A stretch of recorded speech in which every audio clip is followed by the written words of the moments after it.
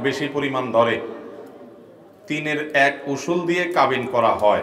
কিন্তু এটা না করে সামর্থ্য অনুযায়ী যদি পাঁচ লাখ হয়, সেটা নগদ মেয়েকে বা তার গার্ডিয়ানকে দিয়ে দিতে যায়। এখন তার গার্ডিয়ান যদি না মানে তাহলে কি করণীয়? প্রথম কথা হলো, মোহর এটা গার্ডিয়ানের হক না, এটা মেয়ের হক।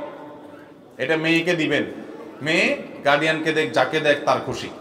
দ্বিতীয় কথা হলো, মোহর যেটা ধরবেন, এখান থেকে যেটা উসুল করবেন, ভালো করে শুনে রাখেন।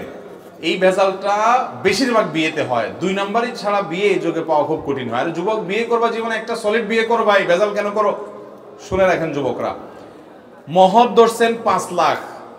বাজার সদাই করে আনছেন আলতা, সোনো, এটা, সেটা, বাজার করে আনছেন পঞ্চাশ হাজার টাকার আয়না এবার কাজী যখন লিখতেছে, বলতেছেন যে, লেখেন, মোহর, কাজী সাহেব বলছে, মোহর কত দিচ্ছেন? বলে, পাঁচ লাখ পাঁচ লাখ। বলে, উসুল আসেনি। বলে উসুল আছে, কত? কয় আচ্ছা দেড় লাখ। আন্দাজে। বাজার করছে কয় টাকা? পঞ্চাশ হাজার টাকা। উসুল লিখতেছে কত? আবার বিয়ে করে বউর জন্য একটা শাড়ি নিয়ে আসছে, ওইটাও ধরছে হিসাবের মধ্যে। ছোট লোকের তো একটা সীমা থাকে। এগুলো করবেন না। হ্যাঁ আপনি মোটা অঙ্কের স্বর্ণ টর্ণ দিচ্ছেন অনেক ভারী জিনিসপত্র দিচ্ছেন ঠিক আছে? সেগুলো যদি ন্যায্য কিনে থাকেন, ওইটা আপনি লেখেন যে এত টাকার এগুলো কেনা হয়েছে। যেটা কেনা হয়েছে, এটা বলেন। তাহলে সেটা জায়েজ হবে। মহর থেকে বাদ দিলেন।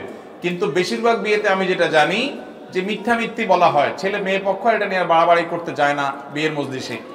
তো এগুলো কিন্তু না যায় এবং গুনাহের কথা।